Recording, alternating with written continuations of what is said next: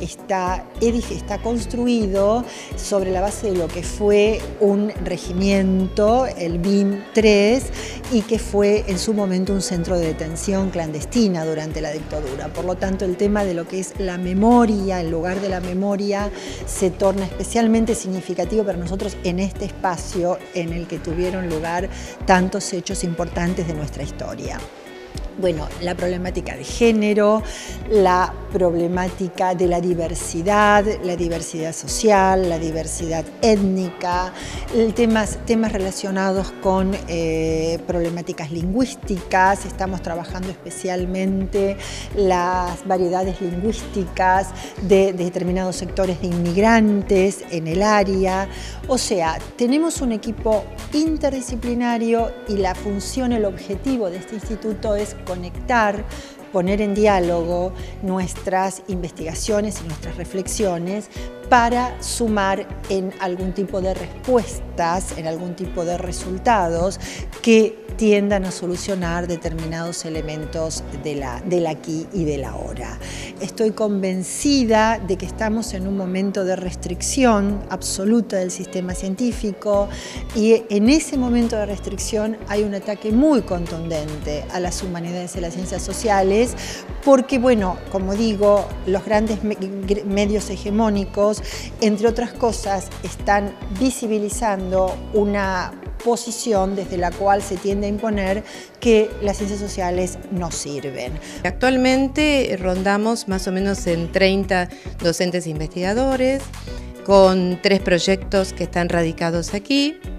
que este, han trascendido lo específicamente lingüístico de traducción y lengua para pasar a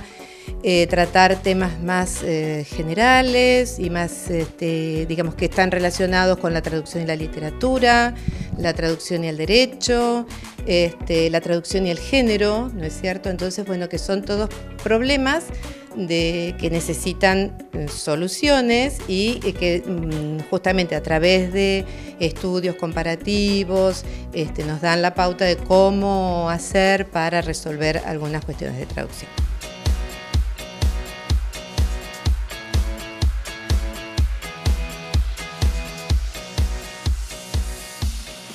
Nuestras actividades se integran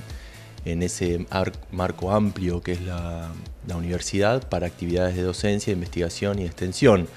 Por lo tanto, muchas de nuestras investigaciones se insertan en investigaciones territoriales que a la vez, eh, digamos, nosotros eh, estamos en contacto con ellas, con esas regiones, a través de proyectos de investigación y desarrollo comunitario, en mi caso, por ejemplo,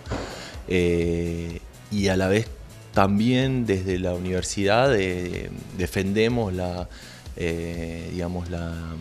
la necesidad de contar con soportes para investigación en este sentido, desde un ida y vuelta con la comunidad y también en nuestras actividades de docencia y de investigación. Entonces, eh, en ese sentido nos interesa fortalecer justamente la, la integración de, las distintas dimensiones de la universidad. Estamos trabajando la noción de etos, una noción discursiva sobre eh, un corpus de traducciones y eh, la noción de culturemas, que también es toda la problemática de traducción de la cultura, de una cultura a otra dentro de las lenguas extranjeras, ¿no es cierto? El Centro de Estudios Helénicos se encarga de estudiar la lengua y la literatura griega, clásica, arcaica, y helenística y hasta la época bizantina. Estudiamos todos los testimonios, es un, estudio o una investigación de lo que llamamos una lengua de corpus, ya que hay un corpus cerrado de textos, desde Homero hasta pasando por toda la gran literatura griega y la filosofía griega, la lírica y la historia de la literatura griega. Eh, todo eso son nuestros objetos propios de estudio eh, en este lugar. Eh, proyectos sobre desigualdad social, sobre pobreza, políticas sociales, sobre eh, tecnología, sobre educación, diferentes proyectos y este, siempre nos preocupa esta cuestión, ¿no? que es la problemática de las metodologías de la investigación, pero aplicadas en diferentes campos de interés dentro de